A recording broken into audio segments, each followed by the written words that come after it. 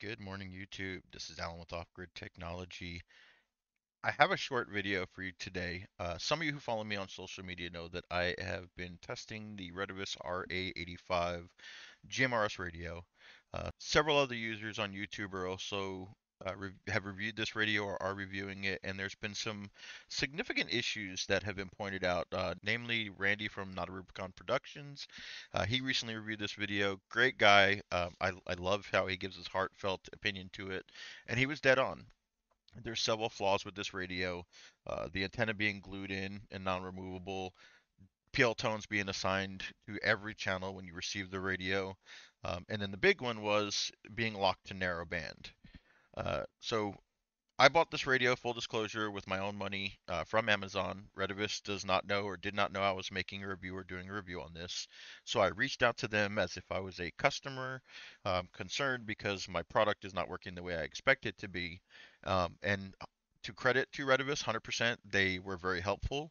Um, like I said, full disclosure, I did pay for this on my own. When I reached out to them, I reached out to them as a customer. I did not tell them until after the issue was resolved that I was doing a review on this product, and that's why I went through the channels and the steps that I did.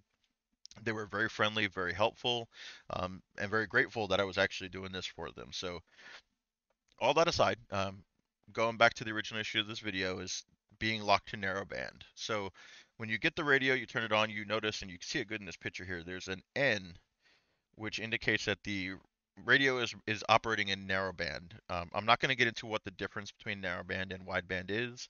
It's all about bandwidth and voice quality. There's many videos on YouTube you're more than welcome to look up for. Um, if it is a topic that people aren't you know sure about, I would greatly love to make a video. If you like that, just let me know in the comments. So the RA85, when you get it, comes with the RA85 programming software, uh, which you can see right here. And in that programming software, you can see right off the bat, PL tones are applied to everything. I did change that one. Um, PL tones are applied to everything. Again, not I don't like that. That can be changed in this software. You can just go in and set it to off. You can see them; they'll they'll come off, right? The other thing is you notice that there is no way to edit the bandwidth. There's no wide and narrow bandwidth setting. You've got your high and your low for your power, but nothing else. So again, I reached out to Retevis. Uh, they did go back and forth with a couple of you know software updates, firmware updates. It wouldn't work. Um, so finally, they sent me this. This is the RA685 Plus software. Now, if you're not familiar with the RA685 Plus, they're both the same radio. The RA85 and the RA685 Plus are exactly the same radio. The RA85 is just locked down for GMR, GMRS, so it's got a little bit more features that are disabled. But the one thing in this radio you notice is you've got a new column here now, wide and narrow. So what I'm going to do is I'm going to read my radio real quick while we're here so you can see this is a fresh read of what's programmed in the radio. Um, I do I did add the channel names of course when I cleared all the PL tones prior. Uh, but you can see you got your high power, your low power, and then everything is narrow, narrow, narrow, narrow, narrow, narrow, narrow. Uh, that one is wide. I did forget to set that back to narrow for this video, but you get the idea. So what I what you do is you just have to go through each channel that you want to change. Set that to wide, which is fairly easy. Now you only want to change this on the, the channels that you can operate wideband on. Um, FRS 8 through 14 has to be on narrowband per GMRS, or excuse me, per FRS rules from the FCC. So make sure you do leave that on narrow. Don't abuse this. You can change it, but if you get caught, you can get in trouble. Uh, you know that that you know like Randy says, the sad hams if they get you. Um, so I would definitely just leave that on narrow. Just change the channels that you can change that are legally allowed to change. And then once you get those all changed up, there we go. You can save it um, I already have it saved, but I'm going to go ahead and rewrite this back to the radio. And one of the things that I was concerned about with this um, while this is writing is I was afraid that when you turn the radio off or when you reread the software that it would it would revert to the narrow settings.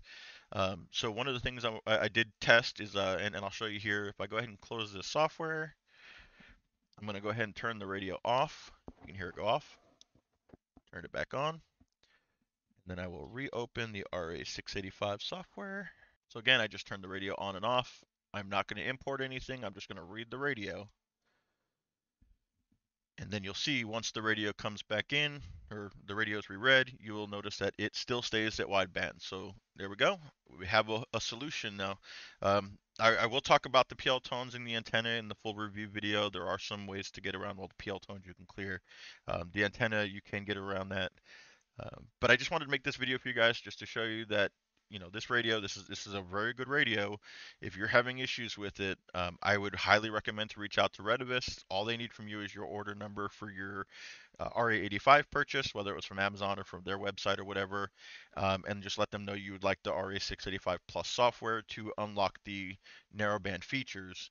They will send that to you. They were very quick. In fact i got a response back on saturday morning and I, I emailed them Saturday night. So they were closed, and I had already got an initial response from them. So very good service. Uh, Retevis again, very very good service. You you've really helped with this one. Um, this is the, what we like to see from the vendors in in this community.